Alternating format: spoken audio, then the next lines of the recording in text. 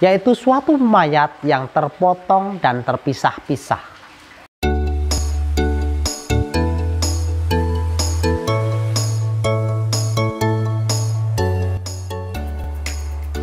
Sahabat siswa Buddha, sebelumnya namo buddhaya. Pada kesempatan kali ini saya akan menjelaskan tentang objek meditasi yang cocok terhadap watak seseorang.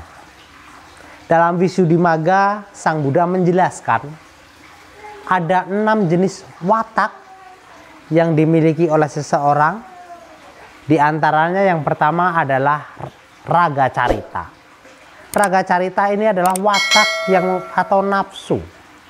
Raga carita adalah watak yang kenafsuan besar.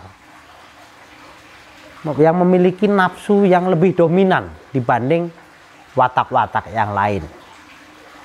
Kemudian ada lagi yaitu dosa carita. Dosa carita adalah watak yang dimiliki seseorang yang lebih dominannya adalah kebenciannya. Jadi lebih dominan kebencian dibanding watak-watak yang lain. Yang ketiga adalah moha carita.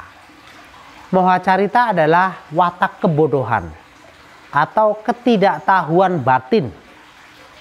Cenderung lebih bodoh dibanding watak-watak yang lainnya. Kemudian yang keempat adalah sada carita yaitu cenderung kuat keyakinannya. Nah ini kadang orang yang seperti ini mudah percaya, yaitu watak yang mudah percaya. Kemudian yang kelima adalah budi carita, yaitu watak intelek. Yang terakhir adalah witaka carita, yaitu cenderung melamun, watak yang suka melamun. Itu adalah enam jenis watak yang terdapat dalam Wisuddhimagga. Namun pada video ini saya akan menjelaskan tentang objek yang cocok untuk orang yang memiliki sifat raga carita atau yang memiliki kenafsuan yang besar. Karena tidak semua objek sebenarnya cocok untuk watak-watak tertentu. Nah ini adalah watak yang cocok untuk orang yang memiliki, yang memiliki kenafsuan besar untuk mengikis kenafsuannya yang besar tersebut.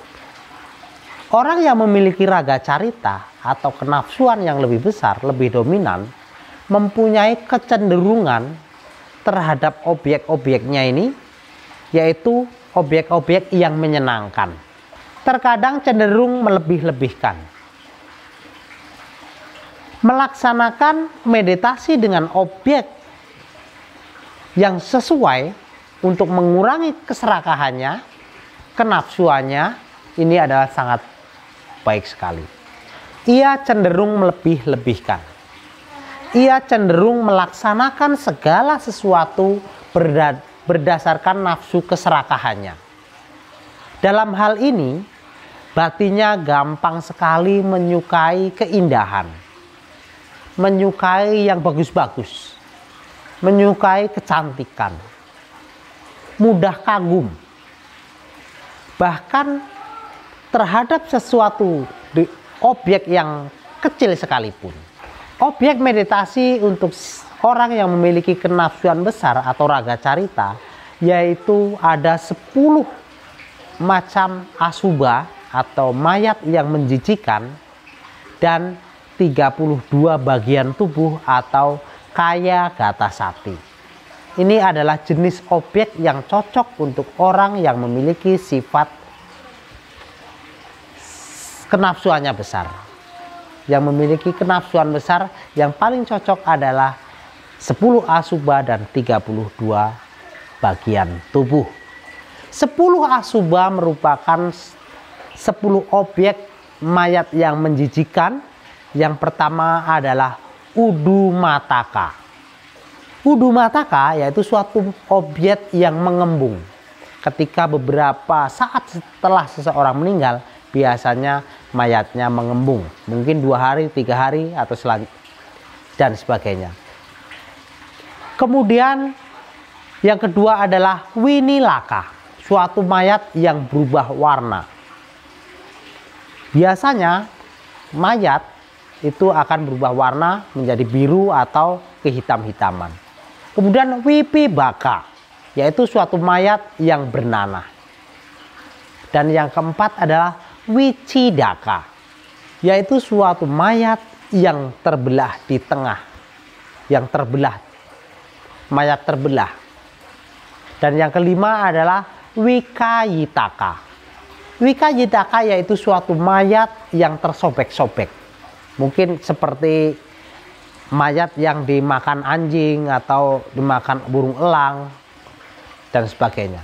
Kemudian Wikitaka yaitu suatu mayat yang terpisah-pisah. Kepala pisah dengan kaki, kaki pisah dengan badan dan seterusnya. Kemudian yang ketujuh adalah Hata Wikitaka yaitu suatu mayat yang terpotong dan terpisah-pisah. Dan yang kedelapan adalah lohitaka. Lohitaka adalah suatu mayat yang penuh dengan darah, berlumuran darah. Dan yang sembilan, kesembilan adalah puluwaka. Puluwaka adalah suatu mayat yang dikerumuti oleh bat, belatung, yang dikerumuni oleh batung. Ber, mayat yang sudah berbelatung begitu.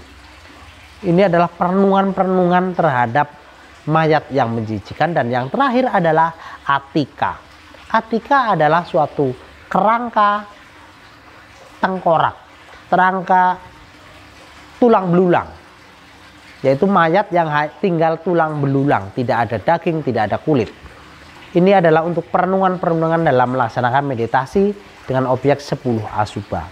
Dengan perenungan terhadap 10 asubah ini, seseorang dapat mengurangi nafsu terhadap kecantikan, ketampanan, kemolekan, wewangian, bentuk jasmaninya, atau hal-hal yang menarik pada jasmani seseorang maupun dirinya sendiri. Ini adalah 10 macam objek mayat menjijikan.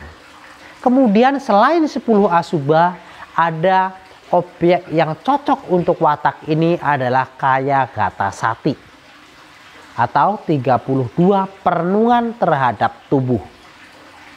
32 perenungan terhadap tubuh ini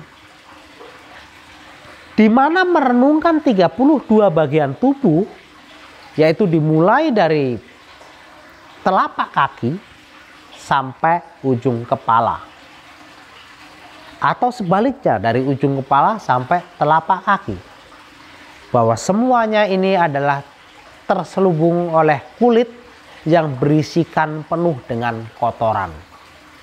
Dalam dalam tubuh kita ada rambut, ada bulu badan, ada kuku, ada gigi, kulit, ada daging, ada urat, tulang, ada sumsum, -sum, ginjal, jantung, hati, selaput dada, limpa, paru-paru, usus, saluran usus, bahkan ya kotoran, empedu, lendir, nanah, darah, keringat, lemak, air mata, minyak kulit.